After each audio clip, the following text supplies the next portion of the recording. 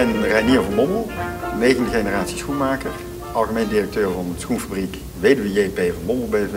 Mijn familie is uh, negen generaties geleden begonnen met schoenen maken in Breda, Adrianus en Christianus, twee zonen van een Reinier, waar ik naar vernoemd ben.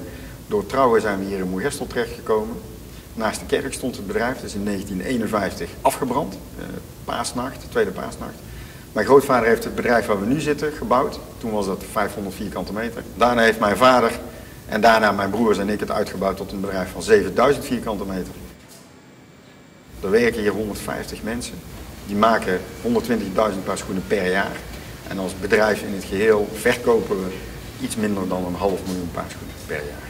Wat, wat de basis is van dit bedrijf, uh, onder de kop innovatie, is eigenlijk heel simpel. Is namelijk uh, doen wat je denkt dat op dat moment goed is. En inmiddels hebben we daar een mooi woord innovatie voor verzonnen. Maar waar mijn over, over, overgrootvader hier van de stoommachine naar elektriciteit is gegaan, zijn wij, en mijn twee broers en ik, van alleen het merk van Bommel ook een merk Floris ernaast gaan zetten. Dus het klinkt heel stoer om nu te zeggen dat wij in één keer innovatief bezig zijn. Maar sinds 1734 is dit bedrijf al innovatief bezig. Iedere generatie doet zijn ding.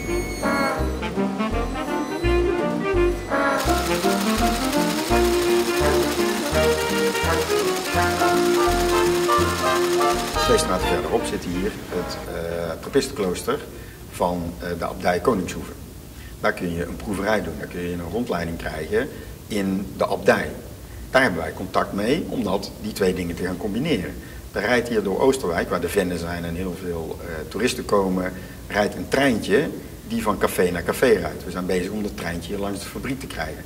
Dus op kleine schaal, in het Moergestelse, het Tilburgse en het Oosterwijkse, gaan wij vanuit onze ondernemersgeest, om deze tour interessant te maken voor de toeristen, gaan we daar andere ondernemers bij betrekken.